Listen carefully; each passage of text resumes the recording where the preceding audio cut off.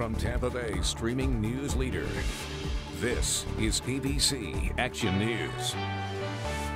Hello, I'm Wendy Ryan. Chief Meteorologist Dennis Phillips has Florida's most accurate forecast in just a moment. But first, here's a look at what's making headlines this hour.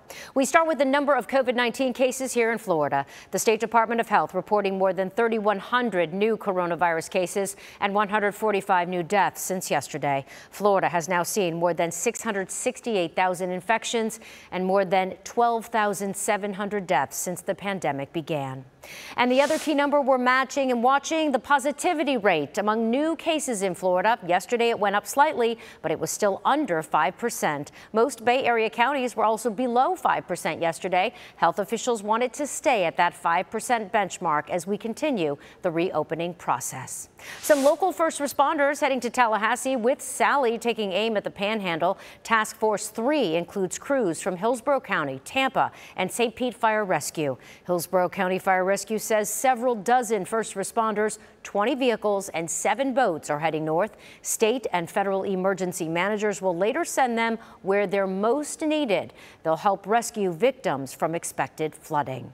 In other news, the city of Tampa is preparing for some Gasparilla events and making some changes because of the pandemic. Reserve tickets are now on sale for the 2021 Children's Gasparilla Pirate Fest, the Invasion Brunch, and the Parade of Pirates. The city says there will be social distancing, and you can find out more about the event on our website. And now here's Chief Meteorologist Dennis Phillips with your forecast. Dennis? Hey, Wendy, how you doing, everybody? Skies are mostly cloudy. We've got some showers offshore. Some are moving onshore, but the heaviest weather from Hurricane Sally will stay just offshore. Overnight, mostly cloudy. Can't rule out an isolated shower or two.